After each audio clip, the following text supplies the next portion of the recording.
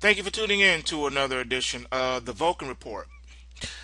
All right, right now we're looking at a chart of the crude oil futures. We're going to try to go through as many of these today as we can. We have quite a, a lot of things going on. If you recall, for those of you who have been following the videos along with the blog, you'll notice that some time ago uh, I called for the bottom and the crude oil to be around the $88 to $77 a barrel handle. Well, we pretty much have pretty much gone there, if you will. I mean, we're within the range now, that $10 range. We hit the low of 79.53 already. Um, so technically speaking, we still have another $2 to the downside that we could possibly test and go to before this market starts to reverse back up again. Uh, keep in mind there does not need to be any type of fundamental reason to reverse the markets. Crude oil is kind of the, the king of day trader markets and it, it whipsaws back and forth for whatever reason. Doesn't need a reason. Excuse me. So, unlike gold and silver, you really don't need a story to help lift the market or to crash it. It just does whatever it wants to do when it does it. So, taking a look at this, we see here that on Friday, the market did uh, come down and take out um, the the previous day's low at this 79.53 handle, and we have 79.45 reached on uh, October the 27th.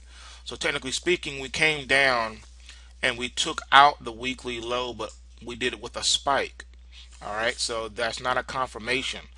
Technically speaking, that's like a bottom. All right.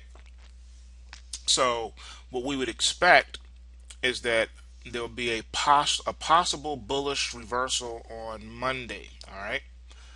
So what you probably want to do is try to capture, you know, any um, any more downside movement just in case you get some, but be quick to stop a reverse and get long if those um, intraday resistance uh, price triggers are taken out.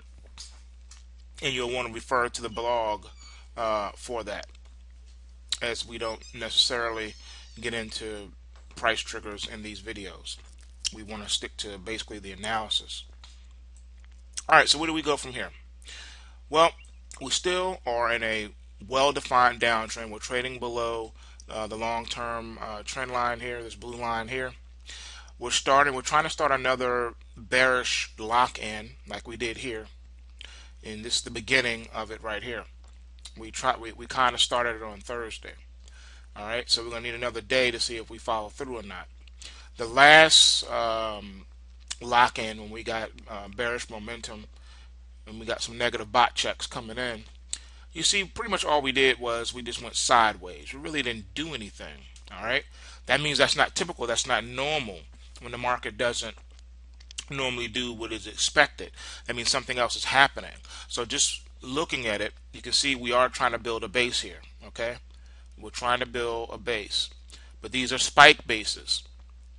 This is not, you know, closing with reversal. All right. We we're not closing into new new lows here. We did it here, only to have it taken out on spikes and quickly reverse. All right. So we need to, to be tested here and see what's going to happen. Not to mention, we're also forming sort of like a triangle. If you look from here to here, so to speak, a little sloppy one because of this uh, bullish engulfing candle here. So really what we've been doing is trading inside of this wide range here of 84.80 to 79.78. So you got about excuse me a four dollar five dollar handle that we're range that we're trading in. Five dollar range that you know it's just whipsawing back and forth in. No real direction. We need to take out this high or take out this low on a closing basis to reestablish some sort of a trend. Long term, the trend is bearish. Short term, we have no trend. We're not doing anything. All right. So we're going to have to watch it and see what happens. Strong possibility. I think we, we want to go down. Um, it, it's, it's just not, I don't think the downside is really over yet. One thing to watch too on any type of reversal move, the reversal could be short lived. I think we're going to have very strong resistance, and I do mean strong resistance right up here, right at this 8560 level. That's going to be strong resistance, okay? Very, very strong resistance. All right. Reason being is because we have, in my opinion, a gap right here that the market's going to retest, try to go in and fill at the first sign of a correction that we get. All right. This is where we're going. Excuse me. So between uh, 86, 83 and 8630. Okay? That's where your gap is. And we need to go and we need to fill that. So we'll go ahead and say somewhere around 8650 to 87, which is this resistance line right here. Okay? This is where we're headed. This is what we need to test. And um, it'll probably lose steam and fall back down at that point. Just something to keep in mind. All right. When would this happen? Possibly mm, two and a half months. All things being equal. If we lock back in this downtrend and just fall, then yeah, about two and a half months. If we don't, then we're looking at two to three weeks. Okay? So just something to watch and, and see what happens here. Okay? So, um, you're looking at let's see what else we got that's about it on this one let's move on to something else okay uh, let's take a look at the US dollar all right this is a huge bullish uh, pattern as you can see um, we are above the long-term trend line here okay you got support right down here in the um, around the 85. Um, I want to say, I'm sorry, 80 about 86.74, somewhere around there. Uh, this you have so many bullish things on here. You have a big white candle, um, which is extremely bullish. Um, you have a long white candle. You have um, a full blown breakout into new highs. Um, not only that, but you have three white candles or three up bars, I should say, in the last three days, um, which is extremely bullish. You have a positive uh, pulse scan swing VIX, uh, which is also bullish. Uh, other than that, let's see what else we got. Okay.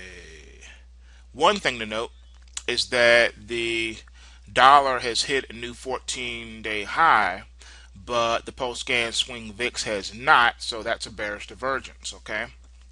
So we'll have to see what happens from there.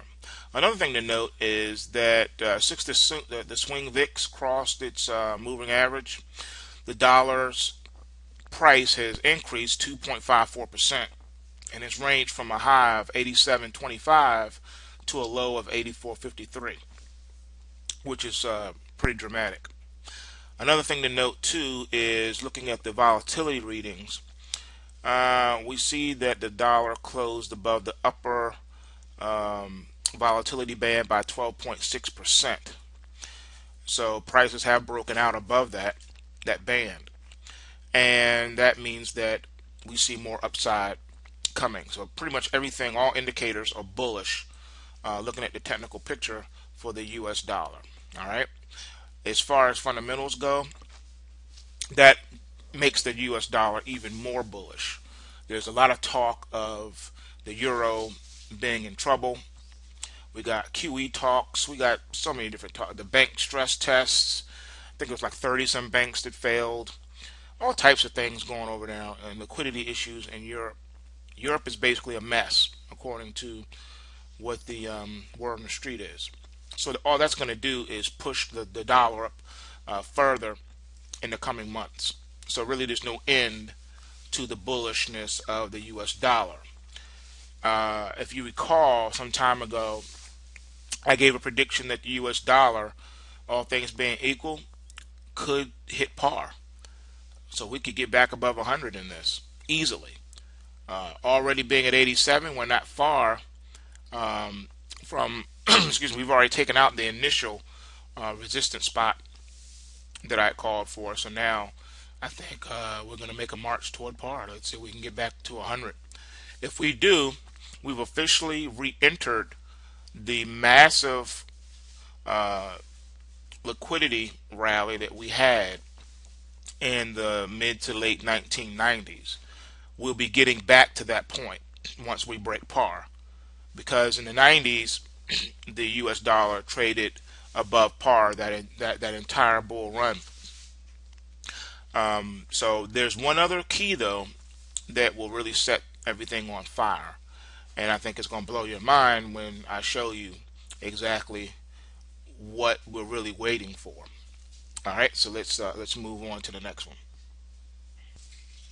All right, here we go. This is the golden bullet, not silver bullet, golden bullet.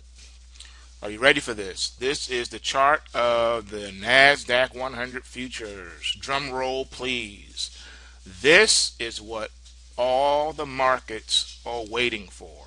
This is what you're not going to hear anywhere else, not even on CNBC. I will break the story for you right here. Are you ready? Okay. What the markets are waiting for is for the NASDAQ 100 futures to break its all time highs. You're saying, how is that possible? Well, we're not so far away from it. We're at 41.42 and a quarter on the close on Friday.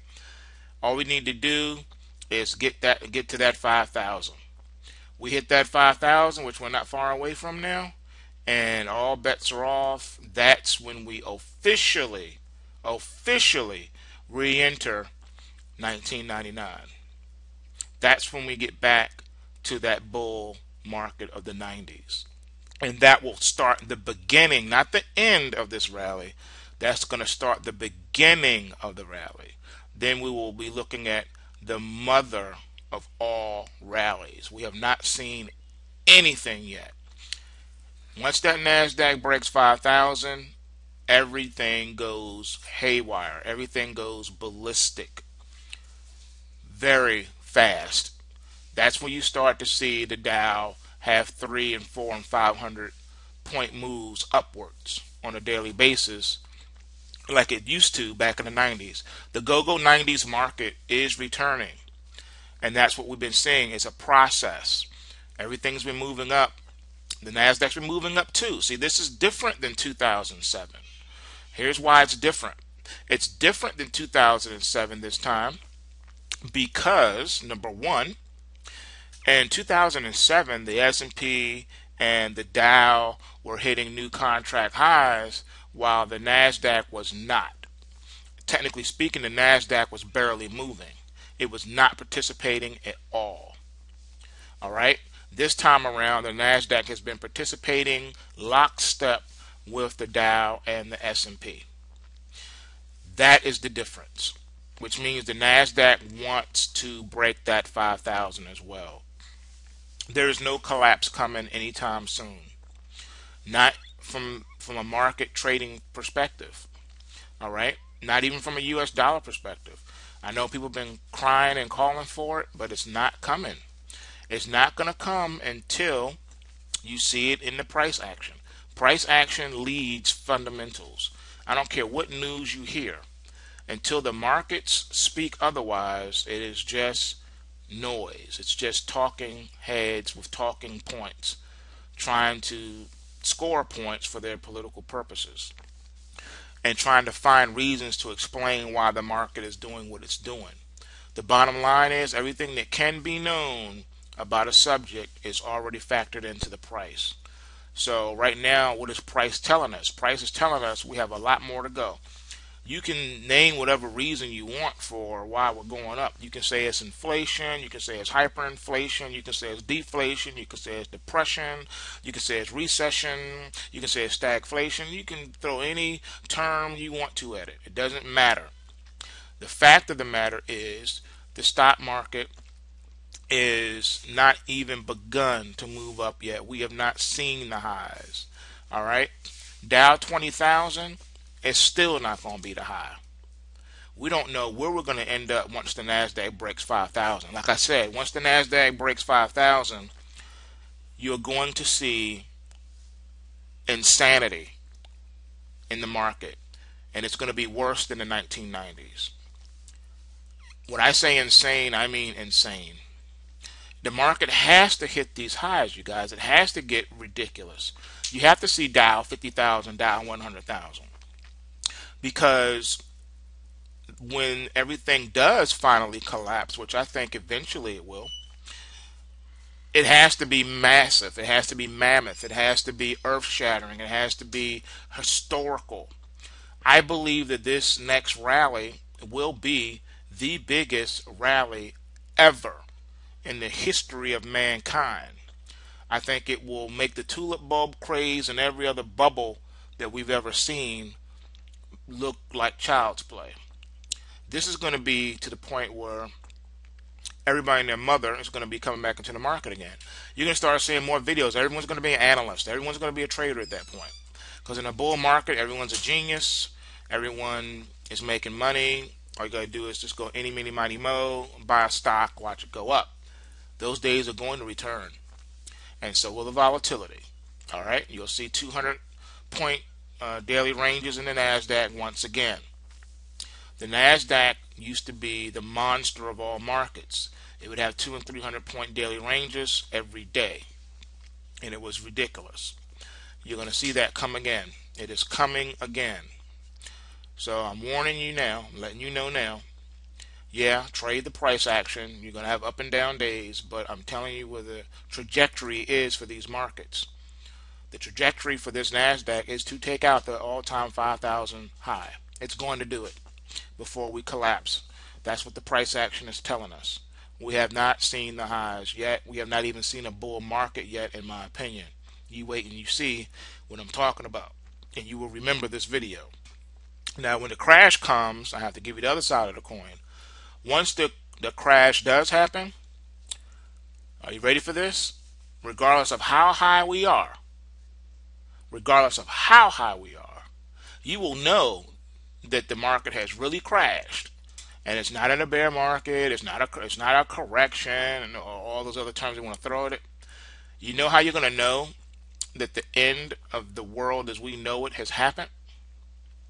Well, it's already been broadcast to you. The market told you what, what to look for. Are you ready? Here it is. The 666 low in the S&P from 2009, I believe it was April. That's where you will know where that price point trigger is taken out, which I believe it will be when the collapse happens. And it's going to be the biggest collapse in human history. You haven't seen panic. Can you imagine the Dow falling from 20,000 or 30,000? Can you imagine the S&P falling from 3,000 or 4,000 or 5,000 down to 666 and crashing below that? That's where the market's going to go. And that's what it's going to take out. That's going to be the new resistance, that 666. That's how you're going to know we're in that new age, that new world order uh, as far as markets are concerned. So until that happens, no new world order yet, no collapse of American society yet. Now all this stuff can play out real quick. It doesn't have to take, you know, the next 18 months for you to start to see the fruition of things. It could take 18 days. Anything can happen. We live in a in a world where remember there there's no caps in how far you know, and, and why these markets can go and what they and how they can manipulate them on a day-to-day basis. They could really accelerate this thing. All right, so we're getting close. There are a lot of things happening in the world. I know a lot of scary things, a lot of fake things, a lot of false flags, things like that. But trust me, they're not ready to take down things just yet. Too many other things and variables have to take place. And right now, we're in a bull market in the dollar and also in the stock market. And we're, you know, still in a, in a severe bear market in the, the crude oil. All right. So remember, take what you can, give nothing back.